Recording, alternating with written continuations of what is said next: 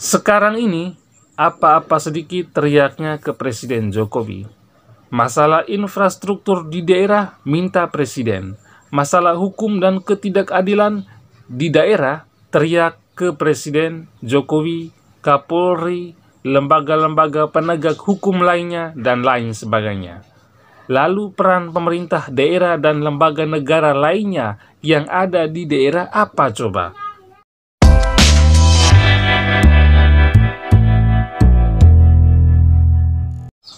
Halo teman-teman semua, apakah di daerah kalian masing-masing masih dijumpai jalan rusak?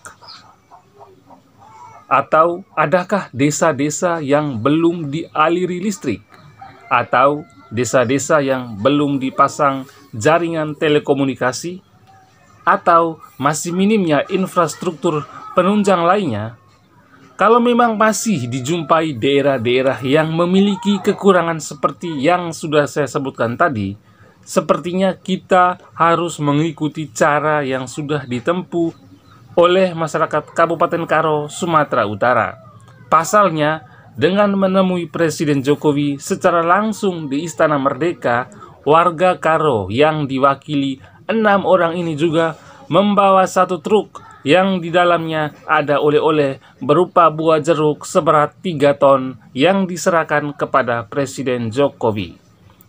Adapun kedatangan enam perwakilan warga Kabupaten Karo tersebut adalah ingin menyampaikan aspirasi mereka terkait kondisi jalan di daerah tersebut yang rusak parah, khususnya di enam desa dan tiga dusun.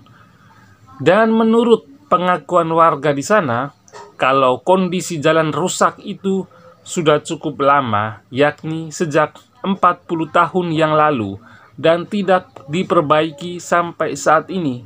Hingga akhirnya warga Kabupaten Karo harus jauh-jauh ke Jakarta dan menemui Presiden Jokowi dan minta untuk diperbaiki kondisi jalan di daerah mereka dan Presiden langsung memerintahkan Kementerian PUPR untuk melakukan perbaikan jalan tersebut dan telah ditindaklanjuti dengan pengecekan langsung di lapangan oleh Balai Besar Pelaksanaan Jalan Nasional atau BBPJN Sumatera Utara Direktoral Bina Marga pada 5 Desember 2021. Dan Presiden Jokowi berjanji akan datang ke Kabupaten Karo setelah pengerjaan jalan diselesaikan.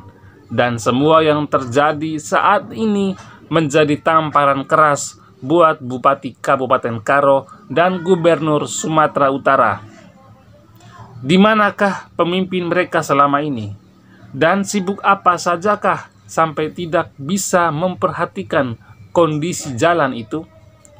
Dan menurut saya, apa yang telah dibuat oleh warga Kabupaten Karo ini menjadi contoh untuk daerah lain.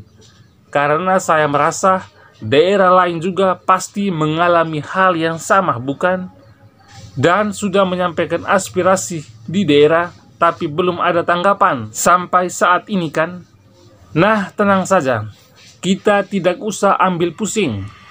Pemerintah daerah mah susah dipercaya Langkah tepatnya adalah langsung menghadap Bapak Jokowi. Pasti masalah akan segera diselesaikan. Buat apa kita mengadu ke pemerintah daerah? Demo-demo, teriak-teriak, tapi tidak pernah ditanggapi pemerintahan setempat. Lebih baik langsung ke Jakarta, tapi jangan lupa bawa oleh-oleh untuk Bapak Jokowi juga. Tapi oleh-oleh ini bukan termasuk dalam gratifikasi loh teman-teman. Tapi ini lebih kepada memang oleh-oleh. Nah, untuk oleh-oleh tersebut sesuaikan saja dengan penghasilan yang ada di daerah kita masing-masing. Kalau masyarakat Kabupaten Karo oleh-olehnya buah jeruk 3 ton, kita orang Flores bisa bawa kopi satu truk atau beras Flores satu ton.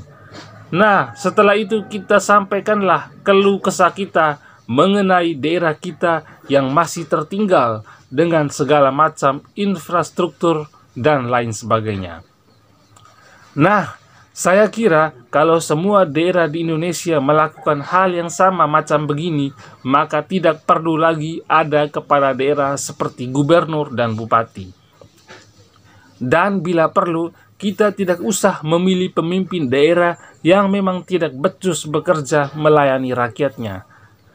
Dan ini saya rasa menjadi tamparan keras untuk kepala-kepala daerah supaya terbukalah mata mereka dan juga tergeraklah hati mereka untuk siap melayani masyarakatnya setiap saat.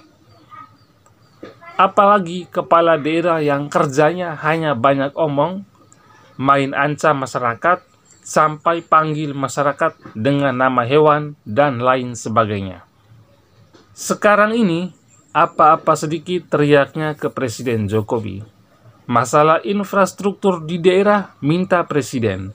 Masalah hukum dan ketidakadilan di daerah teriak ke Presiden Jokowi, Kapolri, lembaga-lembaga penegak hukum lainnya, dan lain sebagainya.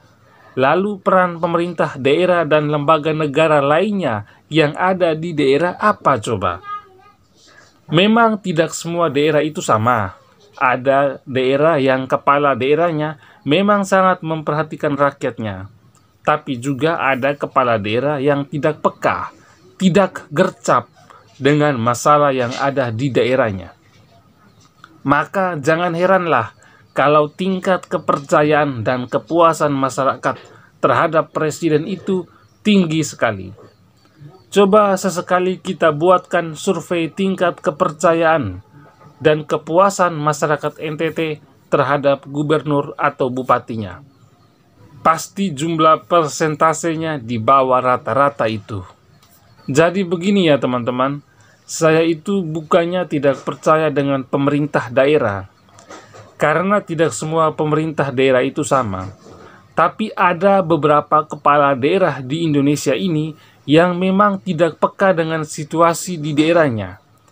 Kerjaannya kurang memuaskan, janji politiknya tidak bisa ditepati, lamban dalam mengambil keputusan atau kebijakan.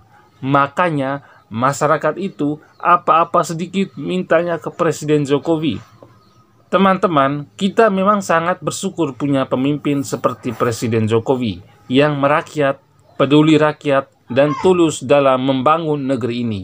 Maka ke depannya kita sangat berharap ada calon pemimpin yang sosoknya, kepribadiannya seperti Presiden Jokowi.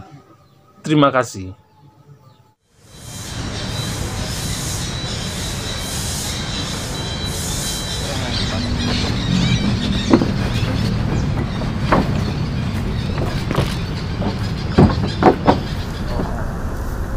Kami sebagai masyarakat Indonesia, kami sangat cinta sama Bapak Presiden kita, Haji Joko Widodo.